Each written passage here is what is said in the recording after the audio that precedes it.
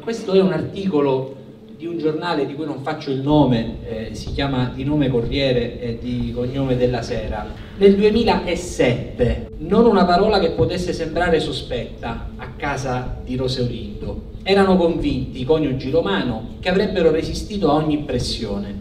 Si sentivano finalmente liberi dall'insopportabile peso della convivenza con quelli del piano di sopra.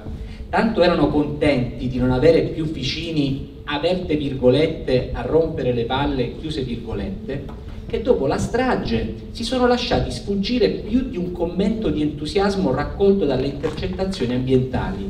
Adesso sì che si vive bene senza quelli, virgolette, virgolette di nuovo, vedi come si sta in pace?